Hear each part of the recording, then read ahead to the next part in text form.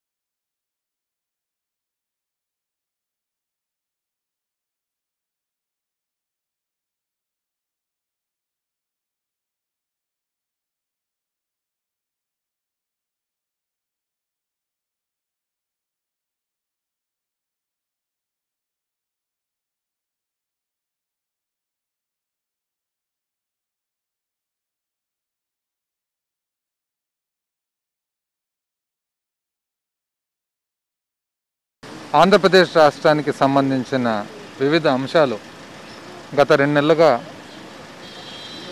Covid పంతొమ్మిది విపత్తు వలన రాకపోకలు లేనందువలన ఏవైతే రాష్ట్రానికి సంబంధించిన అంశాలు ఉన్నాయో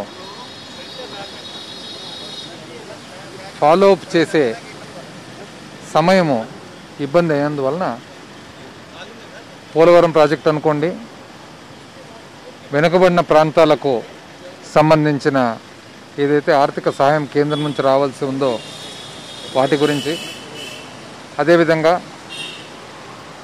రాష్ట్రానికి సంబంధించిన పునర్వ్యవస్థీకరణ చట్టంలో భాగంగా ఉండవలసిన ఏవైతే అభివృద్ధి కార్యక్రమాలు అవి మన పీడిఎస్ డిస్ట్రిబ్యూషన్కు సంబంధించిన డ్యూసు అదేవిధంగా కేంద్రం నుంచి రాష్ట్రానికి జిఎస్టీకి సంబంధించిన డ్యూస్ అనుకోండి పన్ను. ఎందుకంటే ఈ విపత్తు వలన ఆర్థికంగా రాష్ట్రం మీద చాలా ప్రెషర్ ఉంది కాబట్టి పన్ను కలెక్షన్స్ లేనందువలన కేంద్రాన్ని కోరడం జరిగింది. రాష్ట్ర ముఖ్యమంత్రి గారు ప్రతి ఒక్క అంశం మీద ఒక వివరణ ఇస్తూ ఆ వివరణ ఇక్కడ కేంద్ర మంత్రివర్గ గారికి తెలియజేసి తద్వారా రాష్ట్రానికి సంబంధించిన డ్యూస్ ఏవైతే ఉన్నాయో అవి అదేవిధంగా రాష్ట్రానికి అదనంగా చేయి పట్టుకొని ఆర్థిక సహాయము ఇవ్వవలసిందిగా కోరడం జరిగింది. వాటిలో నాతో పాటు ముఖ్యమంత్రి గారి ప్రిన్సిపల్ అడ్వైజరు శ్రీ అజయ్ కల్లం గారు మరి ఫైనాన్స్కు వాటర్ రిసోర్సెస్కు సంబంధించిన సెక్రటరీ అడిషనల్ చీఫ్ సెక్రటరీ కానీ ప్రిన్సిపల్ ఫైనాన్స్ సెక్రటరీ కానీ ఫైనాన్స్ టీం అంతా కూడా ఢిల్లీకి రావడం జరిగింది?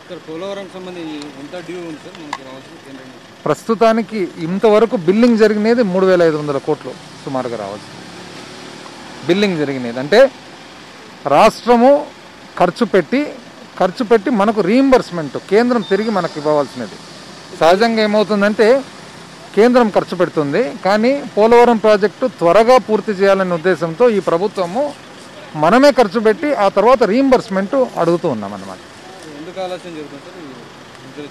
ఆలస్యం అనేది ఏం కాదు. గత రెండు మూడు నెలలుగా మనం చూసిండేదే కదా ఈ కోవిడ్ వలన ఎక్కడ కూడా రెగ్యులర్ రొటీన్గా జరిగే ఏదైతే కార్యక్రమాలు ఉన్నాయో డిలే ఉంది కాబట్టి మనం వచ్చి ఇక్కడ వినిపించుకోవడం జరిగింది. నిన్న సీఎం గారు నిధుల సమీకరణ చేపట్టాలి. చాలా పెద్ద ఎత్తున ప్రతిష్టాత్మక ప్రాజెక్టు నాడు నేడు కానీ ఇలాంటివి సుమారు లక్ష కోట్ల రూపాయలు అవసరం అవుతుందని అంచనా అవుతుంది.